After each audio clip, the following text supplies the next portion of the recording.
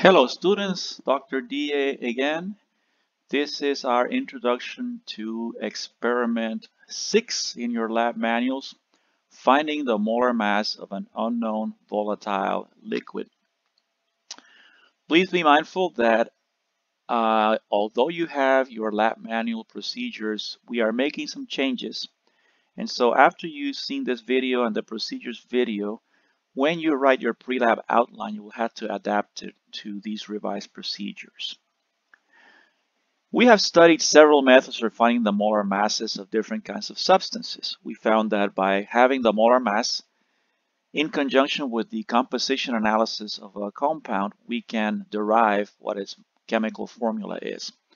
For gases, if we have a known mass occupying a certain volume at a certain pressure and temperature, we can use the ideal gas law to calculate the molar mass of this gas.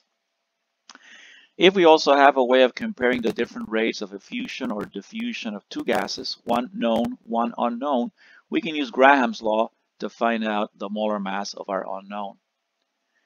With acids and metals, we utilized chemical methods to find the equivalent masses of each.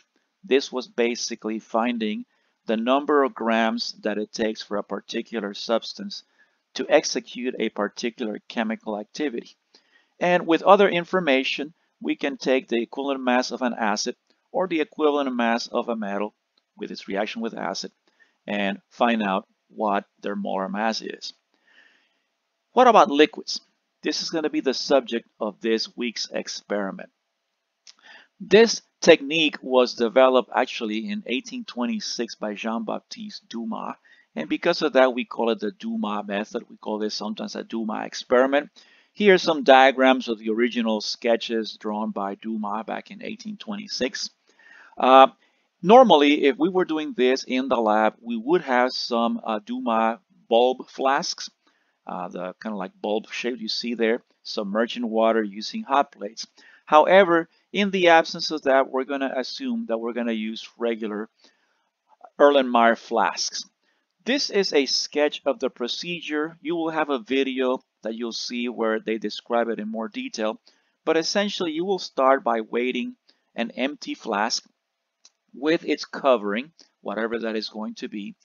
We are going to add an excess of a volatile liquid. By excess, we mean more substance in liquid than will take to fill up the whole flask once it vaporizes.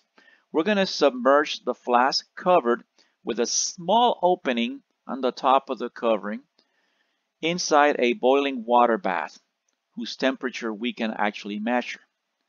As the liquid vaporizes, it will push air out of the flask. Some of the vapor will actually escape by effusion through that narrow opening until the pressure equalizes inside and outside and all that remains inside the flask is the vaporized residual liquid. We will then let it condense back to liquid and wait what is the residual liquid in there, which should be equivalent to whatever the vapor was when it was all vaporized.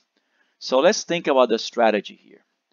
At the point where all of the liquid has vaporized, what we're going to have is a flask that is filled with pure vapor from the vaporized liquid.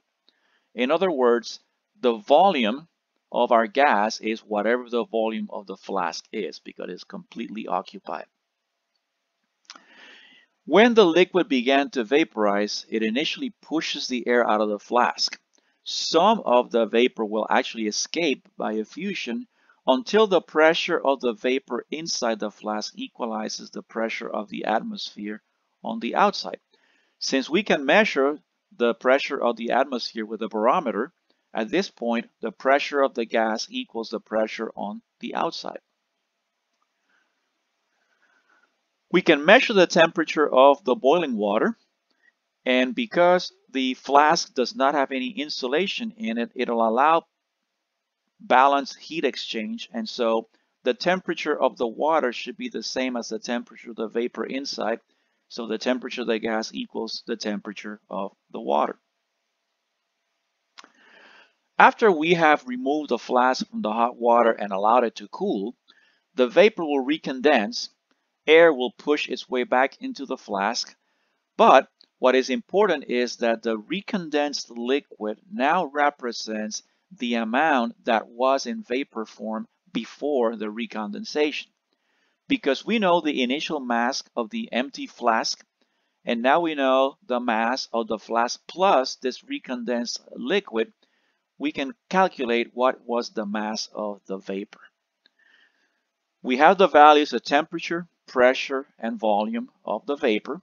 We can use the ideal gas equation to calculate how many moles of gas were in the flask when the liquid was vaporized. And since that same amount of vapor is now recondensed and we have the mass, we can calculate the molar mass by dividing the mass of the vapor by the number of moles.